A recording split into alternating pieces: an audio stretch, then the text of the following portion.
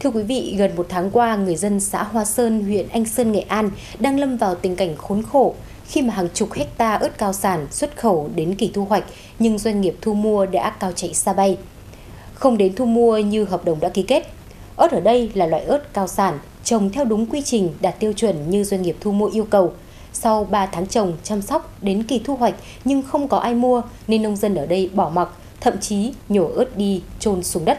Được biết toàn xóm có hơn 120 hộ dân trồng ớt ở đất bãi bồi ven sông Lam. Hoàn cảnh này đang đẩy người dân nơi đây trước nguy cơ mất trắng.